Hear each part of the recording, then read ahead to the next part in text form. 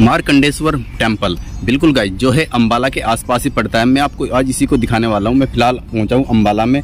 यह पड़ता है अम्बाला से लगभग सात आठ किलोमीटर के करीब, जहाँ पर मैं फ़िलहाल पहुँचा हूँ। इसको शायद साहिबाबाद बोलते हैं। चलेगा जी मैं आपको इसी को दिखाने वाला हूँ। चलेगा जी इसके लिए आपको वीडियो पूरा देखना होगा। हम इसको आपको बैक कैमरे से दिखाते हैं, जहाँ तक के कैमरा अलाव होगा, मैं आपको दिखाऊँगा। चलते हैं, दिखाते हैं बैक कैमरे से। ये गाइस जो मार्केंडेश्वर टेंपल है, उसी के बराबर में एक और टेंपल है। वहाँ पर ये जो आप देख रहे हैं, आपको स्टेच्यू यहाँ पर जिनको हिंदू भाई भगवान के रूप में पूजते हैं, आप देख सकते हैं यहाँ पर सामने से। मैं यहाँ पर पहुँचा था अम्बाला में, मैंने सोचा एक ब्लॉग इसका भी शूट कर दिया जाए, जो यहाँ पर मारकंडेश्वर टेंपल है। वो भी मैं आपको दिखाऊँगा वीडियो के आगे, पहले आप इसको देख लीजिए गाइस यह जो टेंपल है, ये बिल्कुल रोड के जस्ट बराबर में है। जो आप देख पा रहे हैं, ये शीशम की लकड़ी है गाइस ये शीशम की लकड़ी है, काफ़ी मज़बूत। आप देख सकते हैं, इसके ऊपर इन्होंने पेंट किया है। काफ़ी शाइनिंग आ रही है इसके अंदर से। आपको यहाँ पर यह लकड़ी काफ़ी ज़्यादा दिखेगी, जो शीशम की लकड़ी है, जो इन्होंने यहाँ पर द्वार बनाए हुए हैं। ये आपको ये फ़ैन दिख रहा है ना, पंखा? आप देख सकते हैं कितना बड़ा है। अब सर्दी है, इसलिए इसको बंद किया हुआ है इन्होंने। अब सर्दी में इसको नहीं चला सकते। यहाँ पर ये नज़ारा बाहर का, जो टेंपल है। कुछ ही देर में मैं आपको मार्केंडेश्वर टेंपल दिखाऊँगा, वीडियो पूरा देखना है आपको।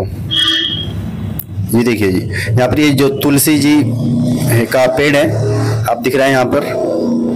यह हिंदू भाई हैं, इसको पूजते हैं। मुझको इसका तो इसके बारे में पता, उधर आपको ट्रेन दिख रही होगी, जा रही है।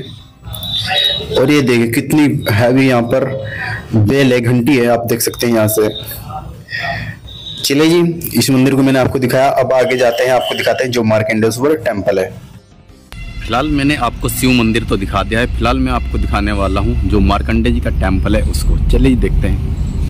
श्री माँ केंडेश्वर मंदिर जो टेंपल है, मैं फ़िलहाल वहाँ पर आ गया हूँ। चलिए गाइज़ इसको मैं आपको अंदर जाकर भी दिखाता हूँ। चलते हैं। फ़िलहाल गाइज़ मैं आ गया हूँ, जहाँ पर मार्केंडेश्वर टेंपल है। आपको सामने से दिख रहा होगा, वहीं पर हम अंदर जाते हैं, आपको उसको दिखाते हैं। और कुछ आसपास भी दिखाते हैं इसके, ये क्या है। चलिए, चलते हैं।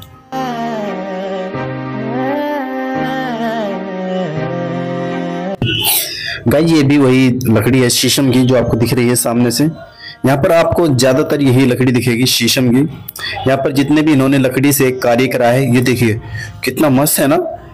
क्या डेकोरेट किया है इन्होंने इसको। कारीगरी दिखाई है इसके अंदर, जिसने भी भाई ने इसको बनाया होगा कभी। पुराना है यह काफ़ी। यह अम्बाला में है। आप इसको देखने आ सकते हैं। अम्बाला से लगभग छह किलोमीटर की दूरी पर पड़ेगा। आपको जो साहिबाबाद है, वहीं पर मार्कंडेश्वर टेंपल। यह मुझे काफ़ी अच्छा लगा यहाँ पर देखकर, जो ये कारागिरी दिखाई है, यहाँ पर कलाकारी दिखाई है। ये देखिए जी, मस्त है ना? रियली में गाइस मस्त है।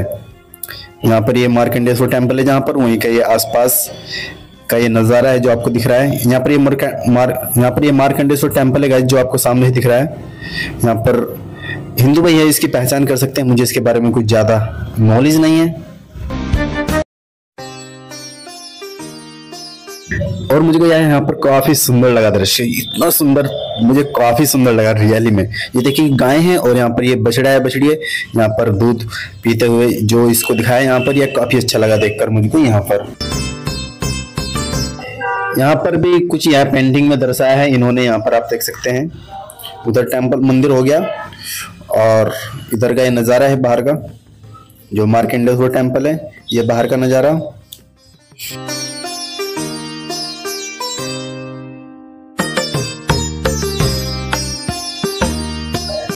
फ़िलहाल मैं मंदिर से बाहर आ गया हूँ। यहाँ पर देख सकते हैं आप, यहाँ पर कैंटीन भी है। ये बाहर का नज़ारा है जी मंदिर का, जो आपको दिख रहा है, मार्कंडेश्वर टेंपल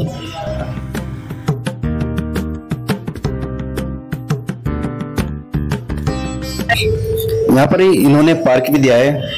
आप शाम को आते हैं, सुबह को आते हैं, आप यहाँ पर रेस्ट कर सकते हैं इंजॉय कर सकते हैं रिलैक्स फील कर सकते हैं, यहाँ पर बैठकर। फाइनली जी मेरा छोटा सा व्लॉग था जो मैंने आपको मार्कंडेश्वर टेंपल दिखाया, जो अम्बाला से पड़ता है लगभग 10 किलोमीटर ही मान लीजिए आप। फाइनली जी आपको मेरा छोटा सा व्लॉग कैसे लगा, कमेंट में लिख ज़रूर बताया चैनल पर तो चैनल को सब्सक्राइब कर सकते हैं। चलेगा जी आपसे मिलते हैं हम कल नेक्स्ट प्रकार के व्लॉग के साथ। अब तक के लिए जय अल्लाह हाफिज बाबा टेक केयर और हाँ अपना ख्याल ज़रूर रखिएगा। अल्लाह हाफिज़।